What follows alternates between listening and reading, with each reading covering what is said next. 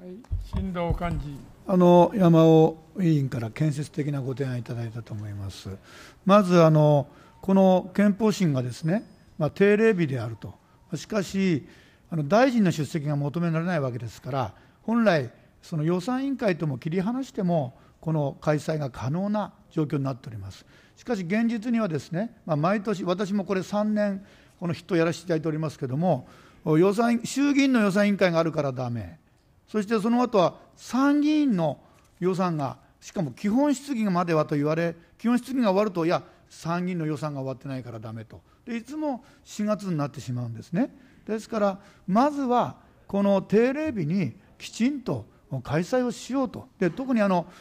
幹事婚のメンバーの中からもですね、定例日にきちんとやってくれというご意見はあの何度も出ております。ですから、まずこの審査会の開催をですねきちんとあのまずやっていくことが重要だと、これが第一です。で、その上で、議論がどんどん増えていくし、もう例えばもう、憲法改正、賛成、反対別にして、意見をおっしゃりたいという方はいっぱいいらっしゃってですね、自由に討議するなら、すごく議論盛り上がるんですね。だから、もっと定例日を増やしたっていいではないかと、このあのご意見は、傾聴に値すると思っておりますが、まあ、いずれにしても、まずその前に定例日が開かれないんですから、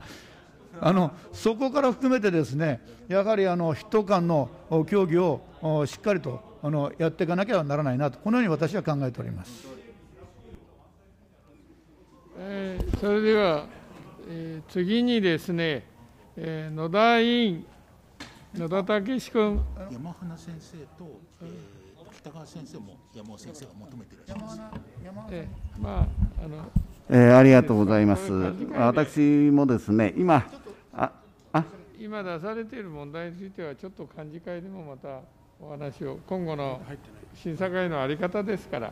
今ここで今議論をしていると、かなり時間がかかりそうですので、また幹事会で与野党で議論をしていただきたいと思います。では、引き続き